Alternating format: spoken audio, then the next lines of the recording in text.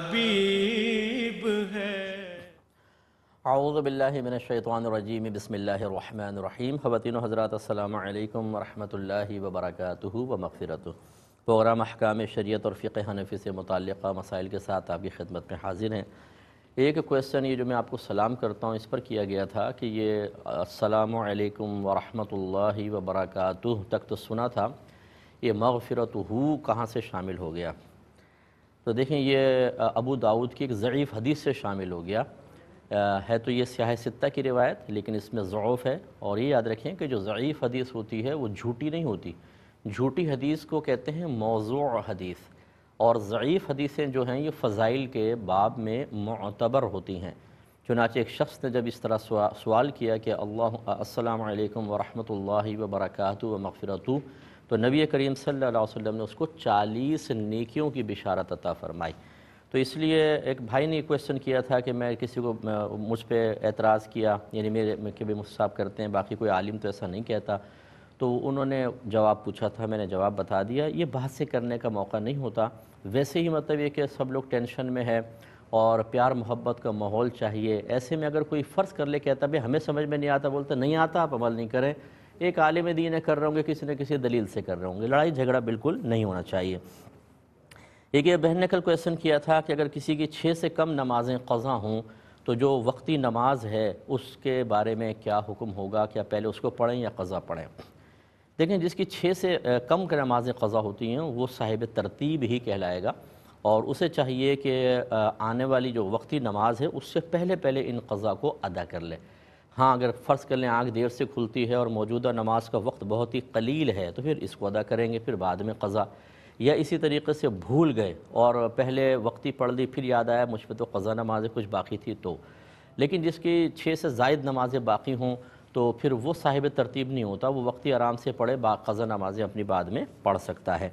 एक बहन ने क्वेश्चन किया कि मैं जुमे के दिन कई कई घंटे तक तिलावत करती हूँ दीगर ज़िक्र असकार भी होता है और फारिग होकर एक बोतल में पानी रखा होता है, मैं उसमें दम कर लेती हूँ ताकि चलो बरकत वाला पानी पिएँ। अब वो कहती हैं कि एक दफ़ा बेख्याली में बोतल मैंने नाली में बहा दी, जैसे चेंज करना होता है पानी। तो कहती हैं, मुझे बहुत सदमा है और बहुत ही ज़्यादा वसवस आ रहे हैं कि मुझसे बहुत बड़ा गुनाह हो गया है, इसका कफ़ारा क्या है? देखें, अच्छी तरह याद रखें कि बहुत से आदाब ऐसे होते हैं जिनको बजा लाना, जिनका इरतकब करना, जिनको इख्तियार करना बाईस सवाब होगा। आपके हुसन नीयत की बिना पर अल्लाह आपको सवाब भी देगा, इंशाल्लाह नेकी मिलेगी, हो सकता है गुनाह का कफ़ारा भी हो, दराजात की बुलंदी का सामान हो, लेकिन उसका मुखालिफ करना कोई गुनाह नहीं होता। जैसे काबतुल्ला को पीठ करना, अदब यह है कि पीठ ना हो, लेकिन अगर कोई काबतुल्ला को पीठ कर ले तो क्या गुनाहगार होगा? गुनाहगार नहीं कहेंगे। इसी तरीके से ये है कि इस तरह का दमशुदा पानी का अदब एहतराम करें, बहुत अच्छी बात है। लेकिन अगर आपने बेख्याली में बहा दिया तो ये ऐसा गुना, ये गुना है ही नहीं कि आप इस पर परेशान हो जाएँ, वसवसे का शिकार हो जाएँ और कफ़ारे तलाश करने लगें। किसी जाहिल से पूछेंगे, वो तो कुरान गिरता है तो बोलेगा, उसके वज़न के बराबर आटा सदका कर दें। अपने पास से बहुत सी चीज़ें निकाली होती हैं। ये मतलब ये कि अच्छी बात है कि आपको इस पर एक सदमा सा महसूस हुआ। बस इस सदमा ही उसका कफ़ारा है, समझ लीजिए। इसमें और कुछ भी आपको नहीं करना है। और इल्म दीन सीखिए, जो इल्म दीन नहीं सीखता, वो बाद इसी तरह जो गुनाह नहीं होता, उसको गुनाह समझ कर और वो बेचारा परेशान रहता है। और इसमें ये परेशानी जो है, ये बाद शैतान इससे खुश होता है। इसकी वजह यह है कि जब तक इंसान परेशान रहेगा, मौजूदा इबादत की बरकत से महरूम होगा, वो यकसुई हासिल नहीं कर सकेगा। हम समझते हैं ये अल्लाह की तरफ़ से, देखो मुझे कितना सदमा हो रहा है, लेकिन शैतान की चालें बहुत बारीक हैं, इसलिए आप बिल्कुल बेफिक्र हो जाएँ और जदीद आप हिम्मत के साथ अमल करें। लेकिन उन्होंने कहा कि नाबालिग बच्चियों को टी शर्ट और जीन्स पहनाना कैसा? क्या ये मर्दों से मुशाबहत में तो नहीं आता? देखिए, एक तो बहुत ही छोटी सी बच्चियाँ होती हैं जो मतलब एक, मत समझ लीजिए कि तीन, दो साल, तीन साल, चार साल की हैं। बहुत ही छोटी कमसिन कहलाती हैं। इसमें तो गुंजाइश निकल सकती है। लेकिन जब बच्ची थोड़ी बड़ी होती है, यानी समझ लीजिए सात सात साल तक हो गई है तो उसमें हद इम्कान कोशिश करें कि मर्दों से मुशाबहत की कोई भी चीज़ ऐसी नुमाया ना हो कि उसको देख कर वो मर्द महसूस हो। नुमाया ना हो। मिसाल के तौर पे बाद जैसे बच्चियाँ स्कूल, कॉलेज जाती हैं, जॉगर्स वगैरह पहनती हैं, वरना बसों में चढ़ना होता है, जाना होता है, आम जो चप्पलें जो लेडीज़ टाइप की हैं, वो टूटने का अंदेश होता है, बद्दी टूट जाए और फिर बहुत सी बहनें बसों में सफ़र कर रही होती हैं, वैगनों में और ये चिंची रिश्तों, रिक्शों में सफ़र कर रही होती हैं, प्रॉब्लम होगी। उसमें ये पहन सकती हैं। वहाँ पर कोई भी देख कर ये नहीं कहेगा ये मर्दों के मुशाबे है या मर्दों से मुशाबत इख्तियार करने वाली इंतकाल जहन नहीं होता। इसी तरीके से अगर जीन्स बच्ची ने पहनी हुई है, लेकिन ऊपर बुरका पहना हुआ है, या लॉन्ग मतलब कोट पहना हुआ है कि जीन्स बिल्कुल ही छुप जाती है तो अब जब नज़र ही नहीं आ रही तो मुशाबत कहाँ से हुई? असल तो यही है कि मर्द औरत ना लगे, औरत मर्द ना लगे, ये है मुशाबहत। अगर ऐसा हो तो फिर ये मना होगा। चुनाचे इतनी, इस तरह भी अगर कोई मर्दों से मुशाबे चीज़ इख्तियार की जाए तो उसकी गुंजाइश निकलेगी। तो बहरहाल बच्चियों को मैंने उम्र के हिसाब से आपको बता दिया, ख्याल करके कर लेना चाहिए। और इसकी एक वजह बड़ी ये है, अगर लड़कियाँ छठे, सातवें साल में आके भी मर्दों की वाली वज़ा, अक़ता इख्तियार करें तो आहिस्ता आहिस्ता इनके अंदर से नस्वानियत ख़त्म होना शुरू होती है। और मर्दा, मर्दानापन सा आ जाता है। हालाँकि शरीयत को औरत में नस्वानियत और मर्दों में मर्दानगी मतलूब है। इसलिए मर्द अगर जेवर पहनने लगे और कुछ करे तो वो मना है। मदीने में एक हिजड़े ने अपने हाथ पर मेहंदी लगा ली।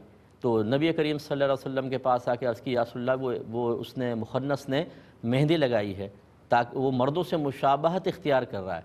सरकार ने फरमाया, इसको मदीने से बाहर कर दो। एक सहाबी ने अर्ज़ की यासुल्ला अगर आप इजाज़त दें तो मार ना दें इसको? सरकार ने फरमाया कि नहीं, अगर ऐसा होगा तो लोग कहेंगे कि कली में गो को मेरे आका अलैहि वसल्लम ने शहीद किया तो उसको छोड़ दिया गया।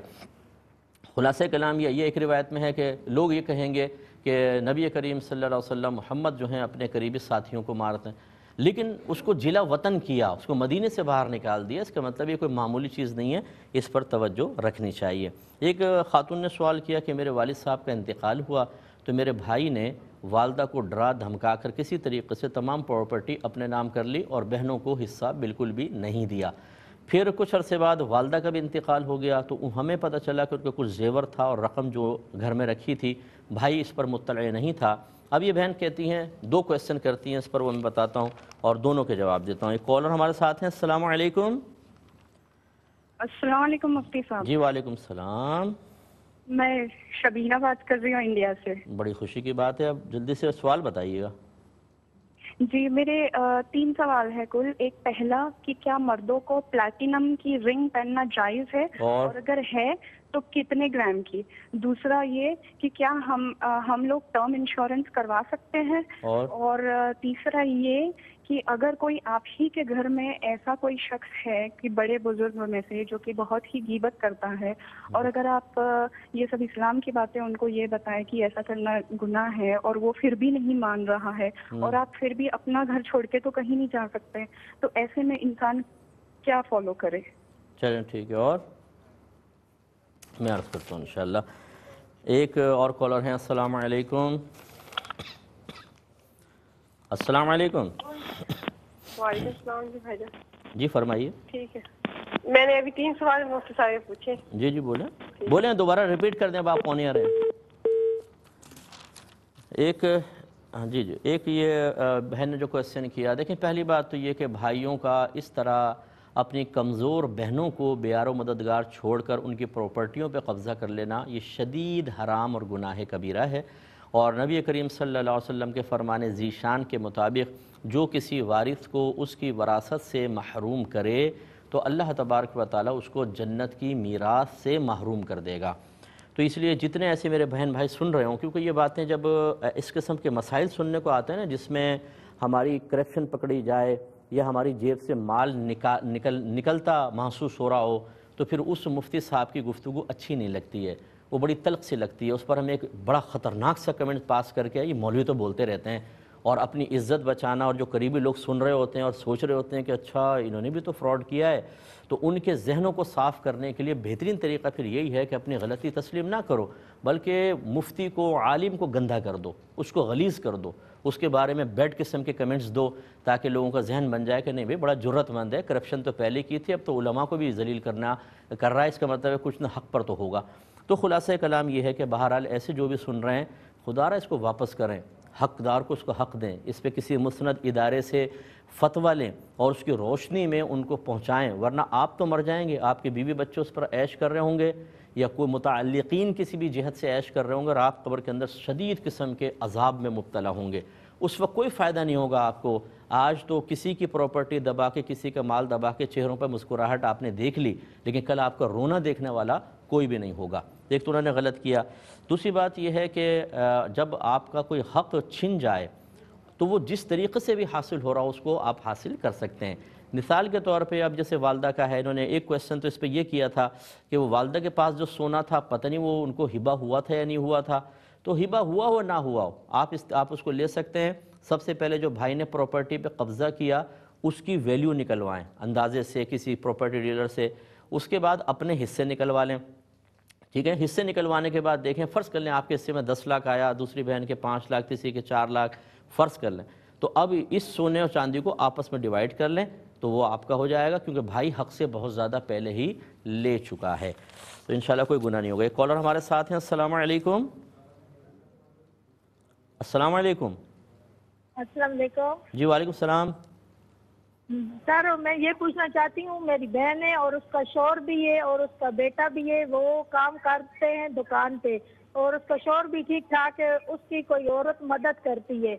आया कि वो उन पैसों से वो कुर्बानी कर सकती है या नहीं करती वो घर का खर्चा भी खुद चला रही है बेटे से और खामन से कुछ नहीं लेती है। नहीं क्यों नहीं लेती? शोहर खाविन से क्यों नहीं लेती? है या नहीं करती है? क्यों नहीं लेती शोहर और खाविन से? वो क्यों नहीं लेती? ये वो इसलिए नहीं लेती है कि वो कहते हैं आगे से भाई हमने कोई अपने जाने के काम वगैरह नहीं है ये वजह है तो चले मैं बताता हूँ इंशाल्लाह। ठीक है मैं बताता हूँ। अच्छा एक पहले और कॉलर हैं अस्सलाम वालेकुम। वालेकुम जी। सर मेरे दो तीन सवाल हैं। जी जी बोलिए। हाँ जी पहला सवाल ये है कि हम उम्र पे जाते हैं। तो उधर बाल हरम में ही काटने होते हैं या होटल में जाके भी काट सकते हैं क्योंकि हम दो, तीन दफ़ा ऐसा हुआ कि होटल में जी ठीक है मैं बताता हूँ। ठीक है और बोलिए। तो दूसरा हाँ जी दूसरा सवाल ये है कि हम होटल में नमाज़ पढ़ सकते हैं अगर अजान हो रही है तो टीवी की मतलब टीवी के साथ हरम में उधर नहीं गए तो होटल में पढ़ लिया टीवी लगा के तो वो और?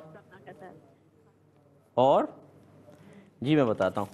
अच्छा देखें अब ये, इसमें बस आखिरी बात ये है कि आपने कहा कि भाई ने डरा, धमका के सब चीज़ें अपने नाम कर ली तो इसका भी एक सबूत आपके पास होना चाहिए। आपको यकीन हो कि भाई ने ऐसा किया है तो बस गोया कि आपका हक़ ले लिया। जितना माल उसने दबाया है, उतना आप इसमें से ले सकती हैं, क्योंकि वो, दूसरा हक़ आपका जो उस प्रॉपर्टी में हक़ था, वो मार चुका है। उतनी मालियत का कम अज़ कम अपना हिस्सा ले सकती हैं। हाँ उससे जायद बन रहा हो तो फिर भाई को भी शामिल करना पड़ेगा।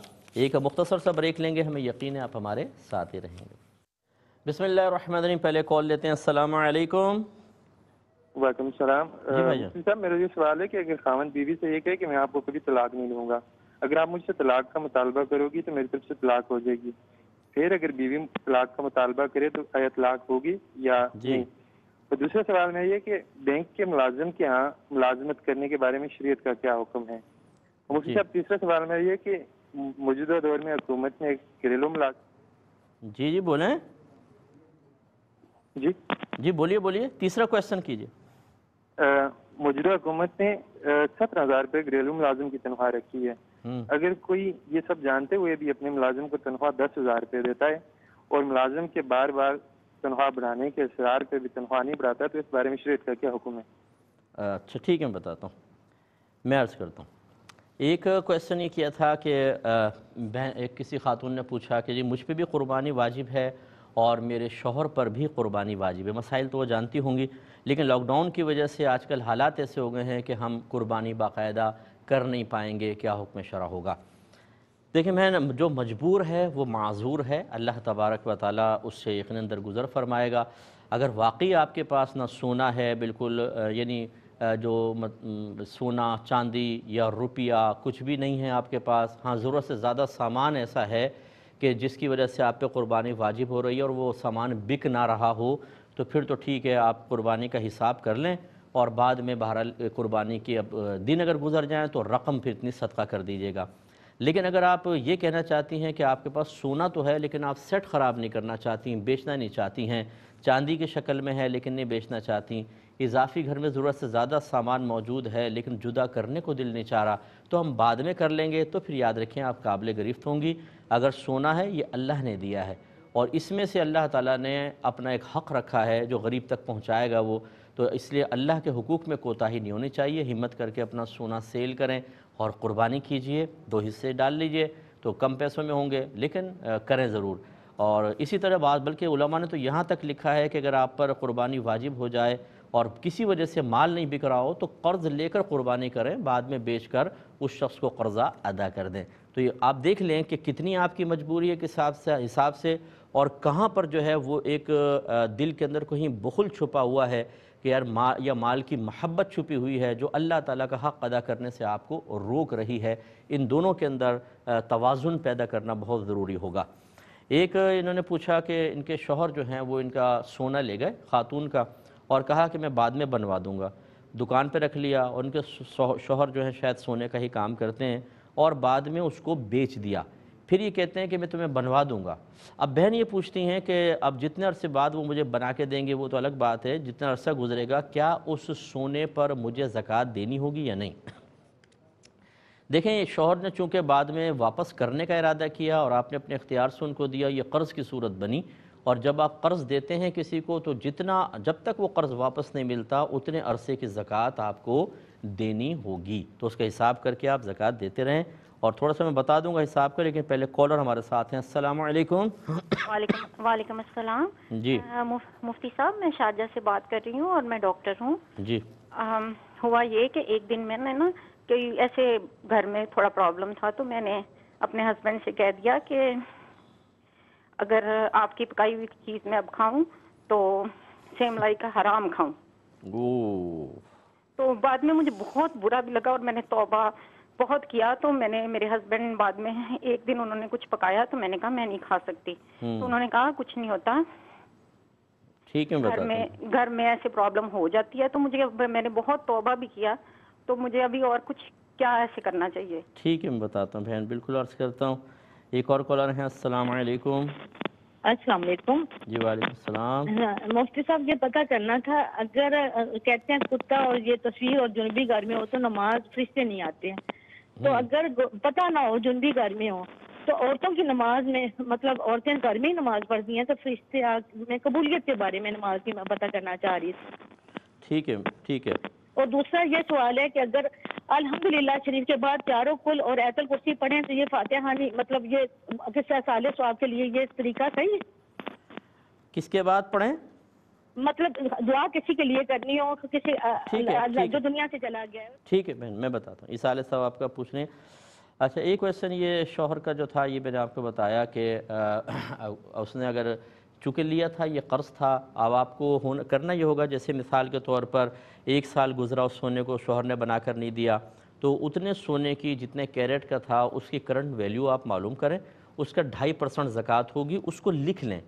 ये अभी अदा करना आप पे वाजिब नहीं है, ये बन गई आपके ज़िम्मे। फिर नेक्स्ट ईयर आया, फिर उस वक्त जो सोने के रेट चल रहे हैं अपने, जितना वज़न था आपका सोने का, उस हिसाब से उसकी कीमत निकलवा के उसका ढाई परसेंट ज़क़़त निकालें और उसको भी यहाँ लिख लें। फिर जब आपको सोना वापस मिल जाएगा, तब इस तमाम की अदायगी आप पर वाजिब होगी। यानी साल ब साल ज़क़़त तो बनती रहेगी, लेकिन अदा करना उस वक्त वाजिब होगा, जब वो आपके वापस कब्ज़े में आ जाएगा। अभी का ये पहले क्वेश्चन ले लेते हैं, कुछ ऑफियर है, लेकिन बाद में ले लूँगा। इन्होंने कहा कि क्या मर्दों को प्लेटिनम की अंगूठी पहनना जायज़ है? अगर है तो कितने ग्राम की? देखिए, मर्द सिर्फ़ चांदी की धात की अंगूठी पहन सकता है, बाकी ना सोना, ना कोई और धात। बिल्कुल नहीं पहन सकता। और चांदी की भी जो नग हटाकर उसका जो हल्का है, वो साढ़े चार माशा से ज़्यादा वज़न का ना हो। हल्का नग जो है, कितने भी वज़न का हो। और एक वक्त में एक अंगूठी पहन सकता है, बग़ैर नग वाली नहीं पहन सकता और दो तीन अंगूठियाँ नहीं पहन सकता। इसका ख्याल करें, इससे भी मालूम हुआ कि ये बहुत से जो बाबे बने होते हैं और अंगूठियाँ इतनी सारी चढ़ाई होती हैं और हम समझते हैं कि हर अंगूठी से ये एक दर्जा विलायत तय कर रहा है। ये खिलाफ शर अंगूठी पहनी हुई है और जो इस तरह एलानिया गुनाह कर रहा हो, क्या उसको कामिलियत हासिल होगी? इंश्योरेंस को हम मना ही करते हैं, इसमें हतमकान आप इज्तनाब करें।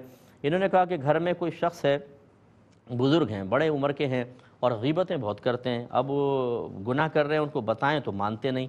हम कहीं जा भी नहीं सकते तो क्या करें? देखें, आप जाएँगी कहाँ?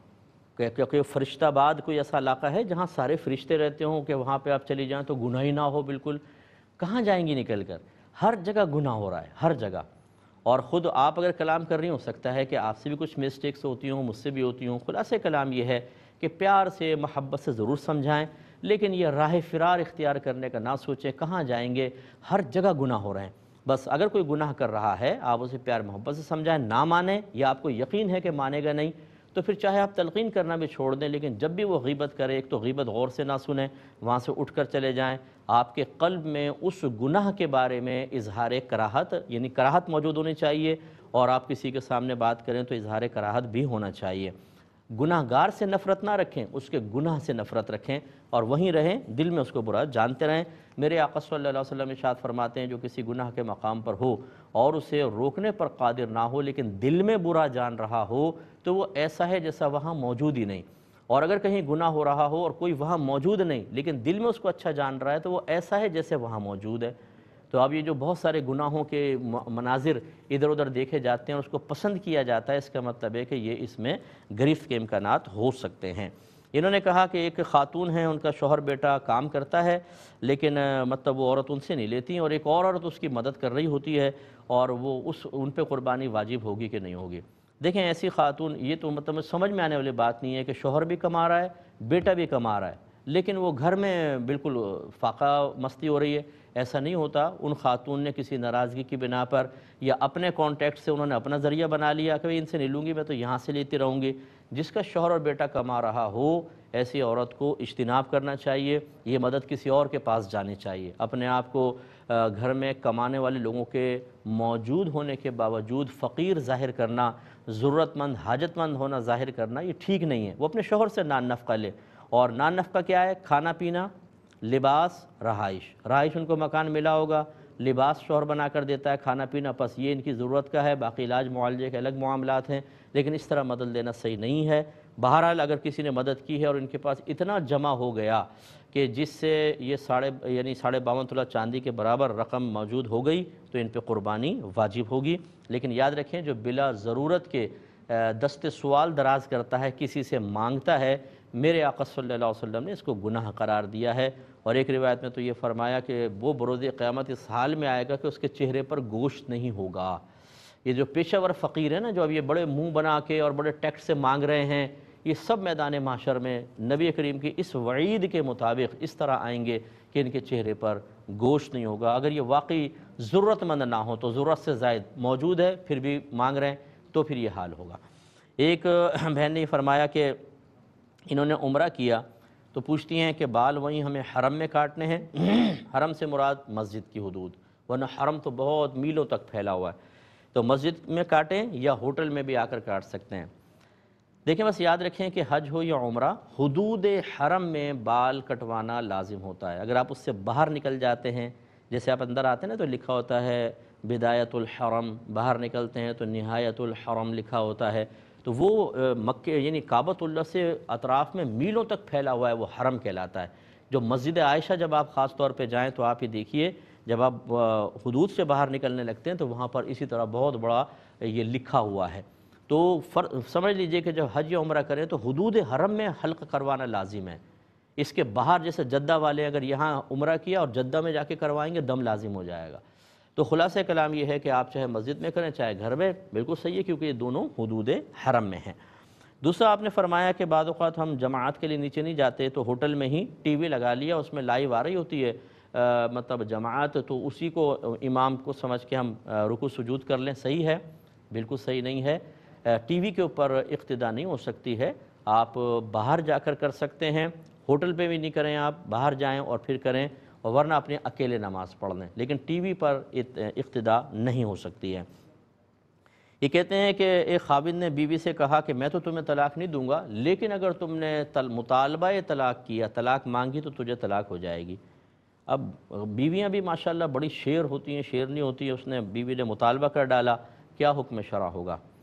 देखें, चूँकि शोहर ने वक़ू तलाक़ को एक मखसूस सूरत के साथ मुक़ैद किया था, मशरूत किया था। तो बस ये अल्फाज ज़बान से निकले, अब शोहर वापस नहीं ले सकता। तो चुनाचे जब भी शोहर बीवी मुतालबा करेगी फ़ौर तलाक पड़ जाएगी। जब भी से मुराद, अगर शोहर के ये अल्फाज थे कि तुमने अगर मुझसे मुतालबा तलाक किया, तुझे तलाक तो फिर तो एक पड़ेगी। और अगर ये कहा हो कि जब भी मुतालबा करेगी तुझे तलाक तो पहले मुतालबे में पहली तलाक हो जाएगी, फिर मुतालबा किया, दूसरी तलाक, फिर मुतालबा किया, तीसरी तलाक पड़ जाएगी। तो खुद आपके अल्फाज जो हैं वो ये कि तो अगर तूने मुतालबा किया, तुझे तलाक होगी तो फ़ौर एक तलाक वाक़ हो जाएगी और बीवी उसके निकाह से, यानी उस मतलब इद्दत स्टार्ट हो जाएगी। तो और ये जो अल्फाज इसने कहे हैं, ये रजई तलाक़ के हैं, इद्दत स्टार्ट हो जाएगी, लेकिन निकाह भी नहीं टूटेगा। अगर इसने पहले दो तलाक़ें नहीं दी थीं, क्योंकि ये मिलकर फिर तो तीन ही हो जाएँगी, फिर तो हलाला होगा। और अगर पहले एक दी थी या बिल्कुल भी नहीं दी थी तो ये इद्दत स्टार्ट हो गई। इसमें बग़ैर निकाह के रुजू कर सकता है शोहर। यानी ये कह दे कि मैं इससे रुजू करता हूँ, दो गवाह बना ले, ज़्यादा बेहतर है।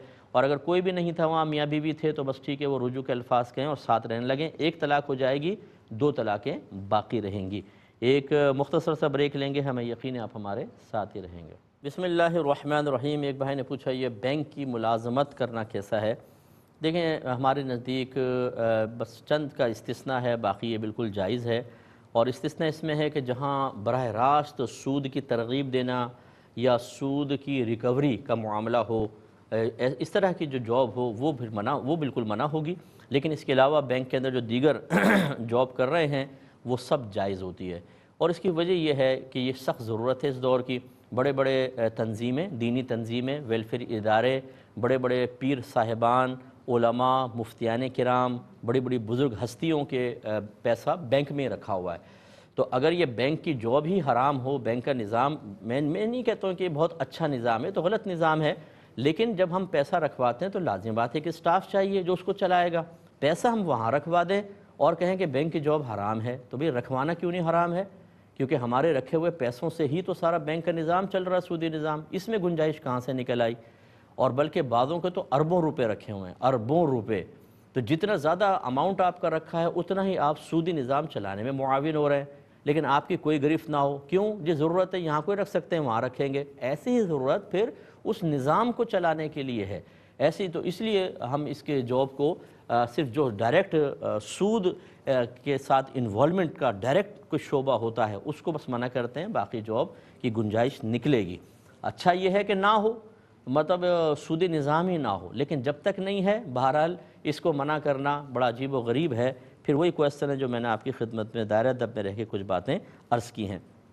एक ही कहते हैं कि गवर्नमेंट अगर ज़्यादा किसी मतलब मज़दूर वगैरह की सैलरी या नौकरों की सैलरी मुकर करे लेकिन हम उसको कम दे रहे हों तो क्या हुक्म शरा होगा? देखें गवर्नमेंट यकीनी सी बात है, बहुत सोच समझ कर एक गरीब आदमी के लिए चीज़ मुतन करती है, क्योंकि उसके पीछे फैमिली होती है, दीगर मामलात होते हैं। लिहाजा अगर उसमें ज़ातियात का दखल ना हो तो उस कानून को फॉलो करना ज़रूरी होता है। लेकिन ये भी फिर देखा जाता है कि आपकी अपनी इस्तात है कि नहीं है। अब अगर मेरी इस्तात नहीं है, मैं एक नौकर घर में रखता हूँ, वो भी ज़रूरी है, घर के काम काज करवाने के लिए जैसे मासियाँ रखी जाती हैं, लेकिन मैं उसको ज़्यादा तनख्वाह नहीं दे सकता हूँ तो फिर अगर गवर्नमेंट कहेगा ज़्यादा तनख्वाह तो फिर ये तो एक ऐसा शख्स जो बेचारा हिम्मत और इस्तात नहीं रखता, उसकी हिम्मत से ज़्यादा बोझ डालना हो गया। तो बस ये अच्छी तरीके से देख लीजिए कि अगर तो हम अफोर्ड कर सकते हैं और गवर्नमेंट की जो मुकर शुदा तनख्वाह है वो दे सकते हैं तो वो उसको फॉलो करना चाहिए। और अगर ऐसा नहीं है, आप ख़ुद मजबूर हैं तो जितना ज़्यादा अच्छे से अच्छी तनख्वाह दे सकते हों, उस पर आप अमल करेंगे तो अब गुना इन नहीं होगा। बहन ने फरमाया कि मैं ये डॉक्टर हैं, यू से इनकी थी कि शोहर खाना, इन्होंने किसी वजह से गुस्से में आके कह दिया कि अगर आपका खाना बनाया हुआ मैं खाऊँ तो हराम खाऊँ। तो शोहर कुछ जब शोहर ने बनाया कि खा लो, कुछ नहीं होता ऐसे तो बोली देते हैं तो क्या कफ़ारा होगा? देखें, मखसूस चीज़ जो है, उसको यानी खाने पीने की चीज़, उसे अपने ऊपर हराम कर लेना, ये एक तरह की कसम कहलाती है। और जब आप कसम तोड़ते हैं तो फिर उसका कफ़ारा लाजिम हो जाता है। और नबी करीम सल्लल्लाहु अलैहि वसल्लम ने ख़ुद इरशाद फरमाया कि अगर कोई किसी मामले पर कसम खा ले और बेहतरी उसकी जानब मुखालिफ में हो तो उसे चाहिए कि अपनी कसम तोड़ दे और उसका कफ़ारा अदा करे। तो आप कसम अपनी तोड़ दें, यानी खा लें और उसका कफ़ारा अदा कर दें। कफ़ारा यही है कि दस मसकीन को पेट भर कर दो टाइम खाना खिला दें। या औसत दर्जे का कपड़ा पहना दें या एक ग़ुलाम आज़ाद कर दें। ग़ुलामों का दौर तो है नहीं। और मेरे ख्याल में आप ये खाना या लिबास अफोर्ड भी कर सकती हैं। तो फिर इसके बाद वरना फिर रोज़ों का मसला होता है। अगर गरीब आदमी है तो फिर वो रोज़े रख ले, तीन रोज़े। लेकिन आप इन खिला सकती हैं। तो दस मसकीन को पेट भरकर दो टाइम खाना खिला दें तो आपका कफ़ारा वगैरह अदा हो जाएगा। और बहुत अच्छे शोहर हैं आपके, माशाल्लाह, पका के खिला रहे हैं। तो फिर आप उस पर भी नाराज़ हो रही हैं। ये कहते हैं कि अगर किसी खातून ने कहा कि किसी को मालूम ना हो कि घर में कोई जुनबी भी मौजूद है जिस पर गसल वाजिब हो तो औरत तो घर में नमाज़ पढ़ेगी। तो क्या उसकी अब ये कहा जाता है ना कि हदीस में है कि जिस घर में कुत्ता, तस्वीर या जुनबी हो, उसमें अल्लाह की रहमत के फ़रिश्ते नहीं आते। तो बहन ने क्वेश्चन किया कि अब अगर औरत घर में नमाज़ पढ़ रही है, उसकी नमाज़ मकबूल होगी कि नहीं होगी? क्योंकि रहमत के फ़रिश्ते तो आएँगे नहीं। देखें, रहमत के फ़रिश्तों का आना या उनका ना आना। इसका नमाज़ से कोई ताल्लुक़ नहीं है। इसका तो बरकत और रहमत से ताल्लुक़ है ना। नमाज़ आप पढ़ेंगे, नमाज़ हो जाएगी। बिल्कुल हो जाएगी। लेकिन यह है कि वो जो रहमतें, बरकतें घर पे नाजिल होती हैं तो वो जुनबी शख्स जो है वो उसकी वजह से वो रहमत, बरकतें नहीं हो पाती। ख़ासतौर पर मतलब रहमत के फ़रिश्ते नहीं आते हैं तो नमाज़ पे कोई फ़र्क नहीं पड़ेगा, नमाज़ आपकी हो जाएगी। ये कहते हैं कि अगर हमने किसी को इसाल सवाब करना हो तो चारों कुल और आयतुल कुर्सी पढ़कर कर लें, काफ़ी है। बिल्कुल काफ़ी है। ये जो अब कारी साहब होते हैं ना, मखसूस दुआ, पहले चारों कुल पढ़ते हैं, फिर वो मखसूस आयात के टुकड़े पढ़ते हैं, हमारे यहाँ मारूफ हो गई एक फ़ातिहा। हम समझते हैं जब तक ये नहीं होगा तो इसाल सवाब ही नहीं हो सकता। ये बड़ी गलत चीज़ें होती हैं कि जिस चीज़ को दीन ने नहीं कहा कि आप इसको लाजिम समझें, हमने उसको लाजिम बनाया हुआ है। अब अगर कोई मुझे कहता है, जी मुसाब ज़रा थोड़ा सा कुरान पढ़ लें इसाल सवाब करना है। मैं एक दफ़ा आयतुल कुर्सी पढ़ूँगा, तीन दफ़ा सूर अखलास क्योंकि तीन दफ़ा सूर अखलास पूरे कुरान के बराबर है, सवाब के अतबार से नबी करीम ने फरमाया। काफ़ी है, बस दुआ कर लें ख़त्म। लेकिन जो जाहिल होगा ना, वो कहेगा, जी, ये तो तरीक़ा ही नहीं है फ़ाते का फ़ाते का तो वो तरीक़ा है जो कारी साहब पढ़ते हैं आकर। तो ये जो ये जो हमने इस तरह की चीज़ें ऐसी लाजिम मलजूम कर दी हैं, ऐसा लोगों का जहन बना दिया है और वजाहत नहीं करते हैं कि, भाई, ये कोई दीन का हिस्सा नहीं है। करें तो मना भी नहीं है, लेकिन इतना ज़रूरी इसको समझना कि ये ना करें तो उस शख्स के बारे में आप बदगुमानियों को शिकार हो जाएँ, ये ठीक नहीं है। तो ये इस तरह जो मुरवजा हमारे यहाँ तरीक़ा फ़ातिहा है, ये कोई फॉलो करना लाजिम नहीं है। आपने जैसा लिखा एक दफ़ा आयतुल कुर्सी, चार दफ़ा कुल, चारों कुल पढ़कर बिल्कुल आप करें, सिर्फ़ आयतुल कुर्सी पढ़ के कर लें, सिर्फ़ तीन दफ़ा सूर अखलास पढ़ के कर लें, बिल्कुल जायज़ है। तो इस तरह गैर लाजिम को लाजिम करके उसको दीन का इस तरह हिस्सा बना लेना कि हमारे बच्चे उसको समझें, ये दीन का हिस्सा है और इसका ताल्लुक़ दीन से ही बहुत ज़्यादा है और इसी तरीके से उसे लाजिम व मलजूम समझना, ये भी दीन का हिस्सा बनाना है कि अगर कोई नहीं करेगा या उस अंदाज से नहीं करेगा तो उसके ऊपर तंज करना, जायज़ समझना, उसको बुरा भला कहना, उसको मायूब और मातूब ठहराना, ये सब गलत है। जो कर रहे हैं वो गलत होंगे, यानी तंज करने वाले। ये शख्स गलत नहीं होगा। एक ही हमारे एक अजीम मुजाहिद हैं, हमारे बच्चा, उसने क्वेश्चन किया है कि एसी के पानी से वज़ू हो जाता है कि नहीं? क्योंकि उसने ऐसी जगह भी आँख खोली है। आँख खोली से मुराद ऐसी जगह बेचारा फंस गया है जहाँ पानी नहीं है। तो पूछता है कि एसी के पानी से वज़ू करने की क्या शर हैसियत है? तो बिल्कुल जायज़ है। ये पानी मुतलक कहलाता है। यानी जैसा आसमान से पानी नाजिल होता है, उसके बारे में अल्लाह ने फरमाया वन जलना मिनसमाई मा अन तहूरा। हमने आसमान से पाक करने वाला पानी नाजिल फरमाया। अभी जो आसमान से नाजिल होता है, एक तो उसको पानी कहते हैं, दूसरा ये पतला होता है, बहता है, बहने की इसमें सलाहियत होती है। इसमें कोई नापाक की नापाक की चीज़ नहीं मिली, नापाकी नहीं होती। इसे किसी और चीज़ से निचोड़ कर नहीं निकाला गया होता। तो जो इस सिफत पर पानी बाकी हो ना, ये सिफ़ात औसाफ उसमें हो, उसे कहते हैं ये मुनज़ल मिनस समा की सिफत पर है। मुनज़ल नाजिल किया गया मिनस समा, आसमान से। तो जो पानी आसमान से नाजिल होता है, यानी बारिश वगैरह, उसमें जो औसाफ हैं, जिस ज़मीन के पानी में वही औसाफ पाए जाएँगे तो जो वो काम कर रहा है, वो यही वो काम करेगा। और उसके बारे में अल्लाह ने क्या फरमाया? वो पाक करने वाला है तो ये भी पाक करने वाला है। अब एसी का पानी देखें, उसको हम पानी कहते हैं। वो पतला होता है, वो बहता भी है, उसमें कोई नापाक शय भी नहीं मिली होती। उसे किसी चीज़ से निचोड़ कर नहीं निकाला गया होता, बिल्कुल वज़ू हो जाएगा। इसके बरक्स अगर नाम बदल जाए, जैसे आप पानी के अंदर दूध या दही मिला दें, वो लस्सी बन जाती है। अब है पतली, बहती भी है पानी भी मिला हुआ है। अब उसको पानी नहीं कह रहे, लस्सी कह रहे हैं इससे वज़ू नहीं हो सकेगा। इसी तरह कीचड़ मिल गई, बहुत गाढ़ा हो गया, नहीं हो सकेगा। इसी तरीके से जो ये फलों का पानी या बाज़ ऐसे दरख्त होते हैं, पानी टपकता है, उसकी शाख को अगर आपने निचोड़ लिया और उससे फ़र्ज़ कर लें आधी बाल्टी भर लिया आपने, इस, ये, इस पानी से वज़ू भी जायज़ नहीं क्योंकि ये मनज़ल में समा की सिफत पर बाकी नहीं है।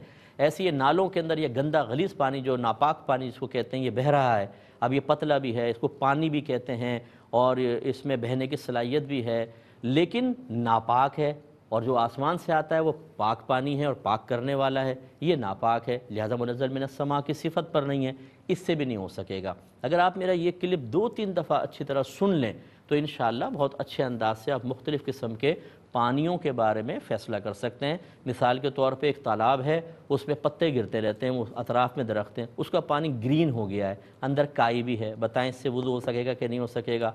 तो बिल्कुल हो जाएगा। अगर कलर उसका थोड़ा थोड़ा ग्रीन हो गया है, थोड़ा उसके पत्तों का रंग भी उसके अंदर आ गया है, थोड़ी स्मेल भी बाज़ात आ जाती है पत्तों की, लेकिन वो पतला भी है, उसे पानी भी कहेंगे, उसमें कोई नापाक शय नहीं मिली है। जो आसमान से पानी नाजिल होता है, इसमें भी थोड़े रेत के ज़र्रात तो होते हैं, पहली जब बारिश नाजिल होती है तो आप देखें गर्द को ख़त्म करती है, फिर साफ़ सुथरा सा पानी आता है। तो इसलिए ये भी मुनज़ल मिनसमा की सिफत पर बाकी है, इससे वज़ू किया जा सकता है। तो ये एक अच्छे जबता है, इसको जहन में रख लीजिएगा।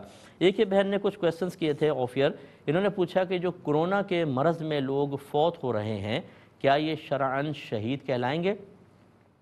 देखिए, नबी करीम अलैहि वसल्लम की जो हदीसों का खुलासा अगर हम देखें और उससे हम कुछ अंदाज़ा करने की कोशिश करें तो यही होता है कि जो किसी बीमारी में इंतकाल करे, नागहानी आफत में फ़ौत हो जाता है, उसे हुक्मन शहीद ही कहा जाता है। तो इनके बारे में उसने जन रखना चाहिए कि अल्लाह ताला इनको शहादत का दर्जा अता फ़रमाएगा। दूसरे ने कहा कि क्या शहीद का हर गुना मुआफ़ हो जाता है, चाहे वो दुनिया में किसी से क़त ताल्लुक़ ही करता रहा हो। देखिए, अगर वाकई कोई शहीद हो गया तो फिर तो उसके तमाम गुनाह बख्शे जाते हैं, तमाम गुनाह। नबी एक जैसे मिसाल के तौर पर कर्ज़ है, वो मुआफ़ नहीं होगा, उसके वरसा देंगे। और इसी तरीके से अगर उसने किसी पर जुल्म ज़्यादती की थी, उसका गुना मुआफ़ हो जाएगा। लेकिन अल्लाह ताला बरोज़ क़्यामत उस मज़लूम को इस शहीद से बदला ज़रूर दिलवाएगा। ये नहीं कि चलो जी सब छुट्टी हो जाएगी, ऐसा नहीं है। लेकिन चूँकि अल्लाह ने बख्शिश का वादा फरमा लिया है, अपने हबीब करीम अलैहि वसल्लम के ज़रिए ख़बर दी गई है, लिहाजा अल्लाह ताला उसको, उस मज़लूम को इस शख्स से राज़ी कर देगा और इसके लिए जन्नत का परवाना होगा। तीसरे उन्होंने कहा कि क्या किसी शहीद के लिए दुआए बख्शिश दुआए मगफ़रत कर सकते हैं कि नहीं? बिल्कुल कर सकते हैं। देखें, ये नबियों तक के लिए कर सकते हैं। अब ये सवाल कीजिए वो तो मगफ़रत शुदा हैं, फिर उनके लिए कोई हरज नहीं है। जो अगर जो गुनागार होता है, उसके गुनाह बख्शे जाते हैं। और अगर कोई मासूम है, जैसे अम्बिया अलैहिस्सलाम हैं, या महफूज हैं गुनाहों से, जैसे सहाब कराम आलमरदवान हैं तो आप उनके लिए अगर आप ये कहेंगे, अल्लाह ताला इनकी बख्शिश और मगफ़रत फरमा दे तो उनके तो गुनाह है नहीं। तो ये फिर दुआ दराजात की बुलंदी का सामान बनती है। इसकी आसान सी मैं आपको अकलन एक दलील दे देता हूँ। जब कोई शख्स फौत होता है मिसाल के तौर पर एक सहाबी फौत हुए हैं अब जनाजे की दुआ जनाजा पढ़ेंगे कि नहीं पढ़ेंगे? और उसमें जब दुआ पढ़ेंगे तो क्या उस मैत के लिए मफ़रत की दुआ नहीं है? अल्लाह मफ़िर हयना व मैतना व शाहिदना व गायबना व सग़ीरना व कबीरना। तो अब ये हमारी इस, इसके लिए दुआ कर रहे हैं। तो इसमें कोई हरज नहीं है। बिल्कुल बाज़ लोग ये समझते हैं कि शायद बेदबी है। नबी करीम के अल्लाह मफ़रत फरमा दे फुला अरे भाई ये कोई बेदबी नहीं है। बल्कि जब ये उलमा कहते हैं, जब ये कहा जाए ना कि फ़रिश्ते नबी करीम सल्लल्लाहु अलैहि वसल्लम पे दरूद भेजते हैं, इसका मतलब ये है कि वो नबी करीम सल्लल्लाहु अलैहि वसल्लम के लिए दुआए, बख्शिश मफ़रत करते हैं। उम्मीद है कि आप बात समझ गए होंगी। अब चूँकि प्रोग्राम के वक्त तकरीबन ख़त्म हो रहा है, जो हमारा ये प्रोग्राम होता है, ये यूट्यूब पर एयरवाई की तरफ़ से डाला जाता है। अगर आपका मिस हो जाए तो आप वहाँ पर देख सकते हैं आकाम शरीयत और डेट लिख दीजिएगा इन वो सामने आ जाएगा और आप उसको ज़रूर देखा करें। एक एक दफ़ा डायरेक्ट जो लाइव चल रहा होता है, उसमें बाद तो बात पूरी समझ में नहीं आती तो रिपीट ज़रूर देख लिया करें। अल्लाह ताला मल के तोफ़ी अता फ़रमाए। आप इजाज़त चाहेंगे, आप हमारे लिए दुआ करें। हम आपके लिए दुआ गो हैं कि अल्लाह तबारक व ताली आपको दराजात की बड़ी बुलंदी अता फ़रमाए। नागहानी आफ़ात से महफूज फरमाए। आमीन। वाखिर दावाना अनिलहमदिल्ला रबालमी है।